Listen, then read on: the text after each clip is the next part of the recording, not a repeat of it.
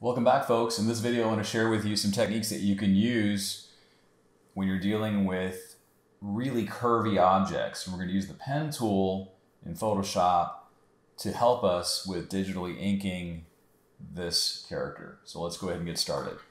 First thing I've got here is I've got my uh, pencils on a, on a separate layer.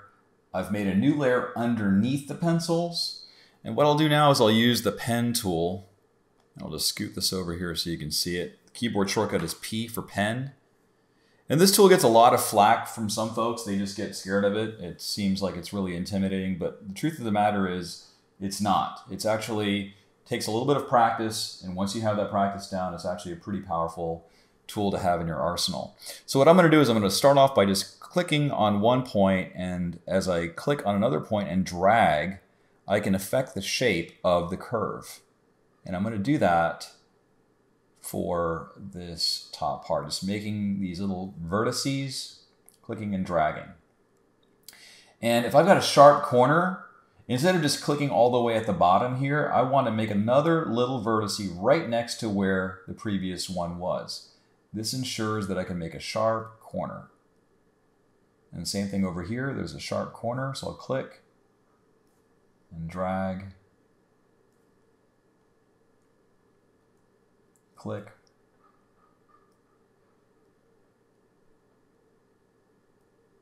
specifically designed this monster so that I could get more practice with a pencil.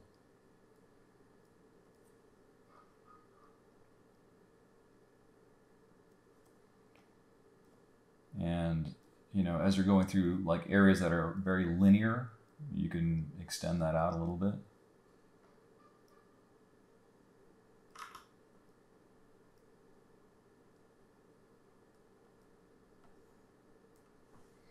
And just so um, you can see what I'm doing here. Oh, see, I have to click it really close to preserve the sharp points.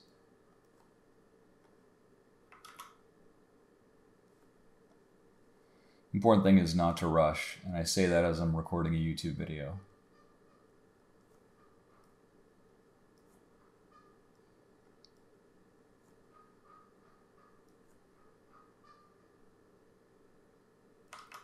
Can always hit undo, Command Z while you're making your selections. Okay, there we go. So I got my entire selection set up.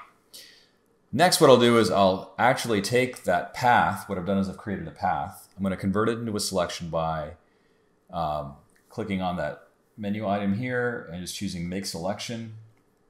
You can see the selection is now active. I will now pick my black color. I'll fill it in, Alt Backspace. And let's just toggle off the pencils layer for a moment to see what we're left with. This is basically the silhouette of this character. And what I have here is just really sharp points. They're not perfect. I can always come back in with my brush and I can clean up these edges that are not super ideal. I can go in with my lasso tool to refine the curves even more if I wish. But what I want to do is I want to convert this from a shape to something that has some line width variation. So what I'll do next is I'll hold down the Command or Control key on a Windows machine, Command on Mac, to select the entire object. Next, what I'll do is I'll go to Select, Modify, Contract, and I'll just choose Contract by, I don't know, let's just be generous and choose 25 pixels. We'll hit OK. And you can see that that selection now is evenly placed within the selection that I have. Now, if I were to just go back to my move tool, my move tool defaults to cutting. So like if I were to click and drag now, it's going to cut that shape out, which is not what I want. Instead, what I want to do is I just want to move the selection over so I can uh, have some thick and some thin lines. To do that, I'm going to hold down the Option key. When you hold down the Option key, you're given this black and white uh, triangle and you can just now move your selection wherever you wish. So I can, maybe I'll move it down in such a way that I have a little bit more of a thicker line on the top. Let's see what that looks like. Now I can hit Command X. Oh, Command X. I don't know why it didn't work before. But this gives me a better thin to thick line quality. It's not perfect.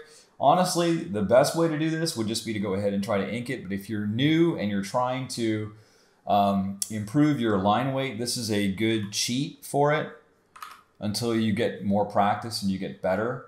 So from this point, what I can do now is I can move that ink layer up above. I can drop the opacity of my pencils layer, and then I can finish this out with my uh, inks. And I'll just go ahead and do that since it's been a while since I've actually created something from start to finish, just so you can see more examples. So these smaller lines are really easy to hit.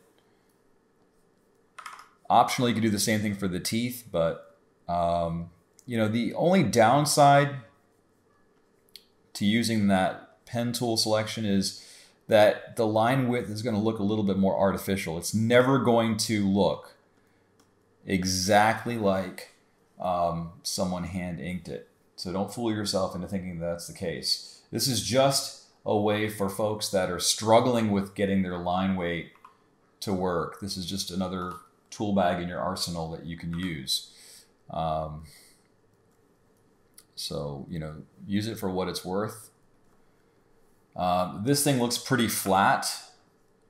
And so what I want to do now is I want to introduce some scale and some texture to this, I guess, creature.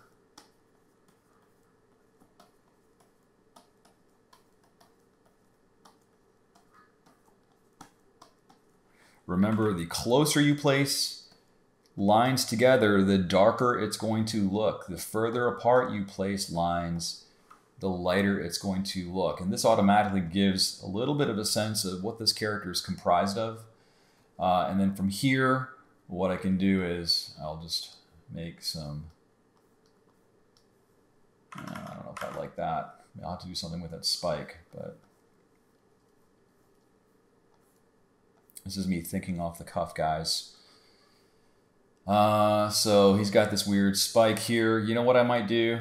I might, this is an executive decision here. I'll just go ahead and make that a little bit curved.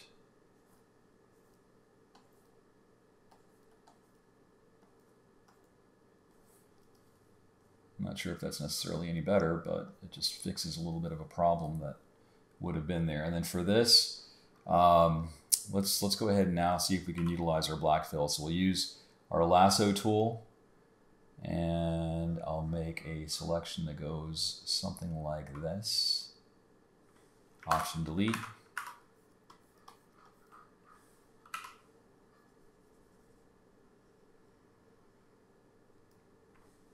Option delete. And then if I wanted to have some kind of a weird scaly pattern, holding down the shift key will allow you to add to your selections like I'm doing right here. I can hit Command X.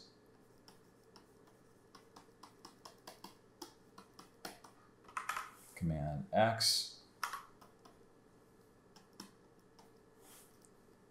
And I've got this.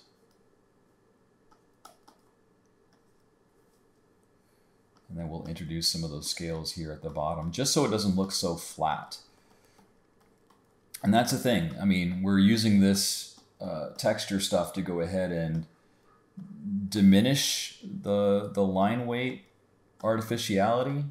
Um, but it's a cheat, and it's something that you know from time to time, if I'm working on something, I, I, I use it on rare occasion.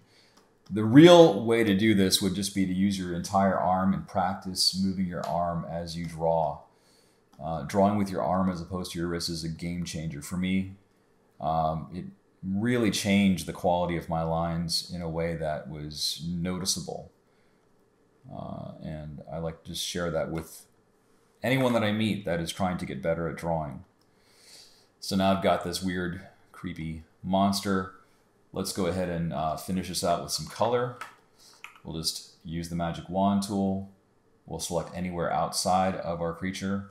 Let's make sure that we don't have any gaps. Probably do. If you've watched this, these videos long enough, you know that there are always going to be gaps in my inks.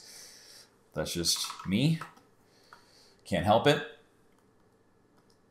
So I'll try to close as many of the gaps as I can. I'll use the magic wand tool once more. Make sure that you have anti-alias, contiguous, and sample all layers checked. Uh, select outside. Hit Shift Command I or Shift Control I on a PC that inverses the selection. Make a new layer, fill it in with a color of your choice, like so. And then you can easily Shift select to add your colors here, Command J, Command U.